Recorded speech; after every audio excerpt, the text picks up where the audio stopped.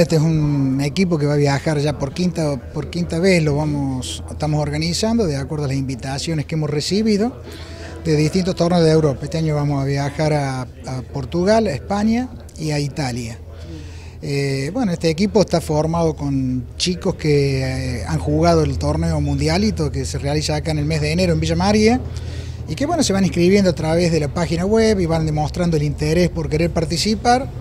Por supuesto que después hay un equipo técnico que coordina eh, los puestos y las capacidades deportivas de cada uno. Así que bueno, y si bien son chicos que se los ve durante el mundialito, ¿no es cierto?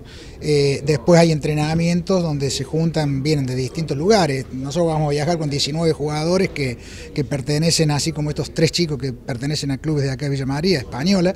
Eh, hay chicos de la ciudad de Correa, de Río Negro, de Armstrong, de Casilda, de Tío Pugio. Bueno, entonces eh, con todo ese conglomerado de ciudades se trata de armar alguna fecha para que puedan venir y tenemos un entrenamiento por mes desde febrero hasta ahora el próximo 20 que ya viajamos. Ellos van a participar en la categoría sub 15, que son chicos 99 con categoría con chicos algunos chicos 2000.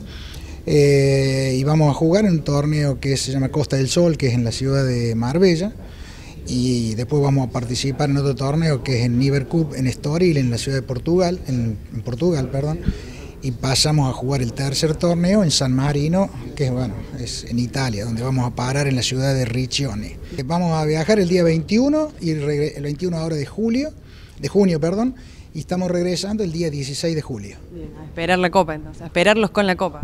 Eh, bueno, eso decíselo a ellos, que son los que entran a la cancha. Estamos afortunados y apreciados a este viaje a realizar, realizado el próximo sábado.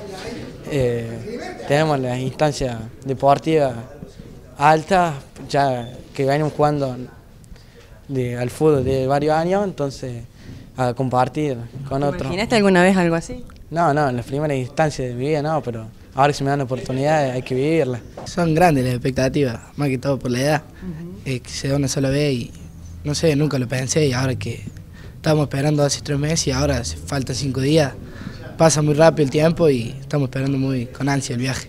¿Cómo se han preparado el entrenamiento y demás? Contame un poco de eso. En el entrenamiento pusimos todo lo que hay que poner, tenemos toda la expectativa y queremos ganar, así queda bien Villa María y más que todo Argentina sinceramente no, no teníamos pensado, pero se nos dio esta oportunidad y tenemos que aprovecharla ahora. Sabemos nosotros tenemos todo lo posible para poder allá ir y dar una buena nota.